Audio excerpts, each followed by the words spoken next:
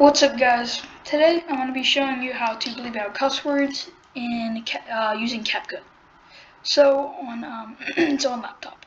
So you want to go um, into you want to import a video, whatever video it is, don't matter. Okay, so if I go in here, this one right here. So if I would Okay, let me do a different one because this one is uh, okay. So if I go this one right here, if I wanted to,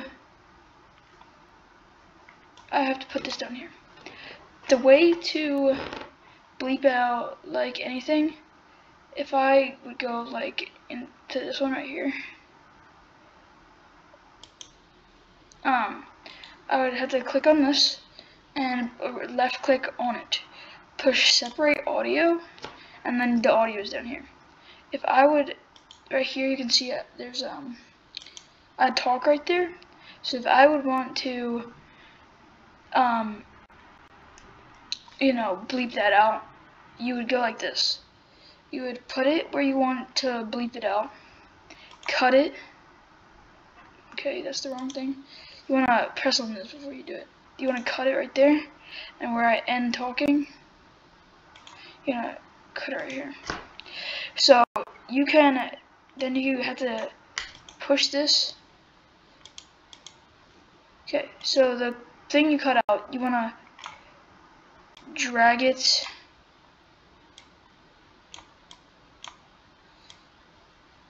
Up here.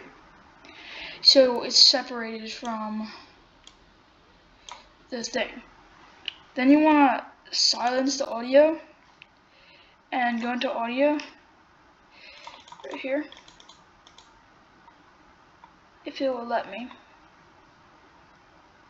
Okay, now you want to go to sound effects and put the beep two seconds.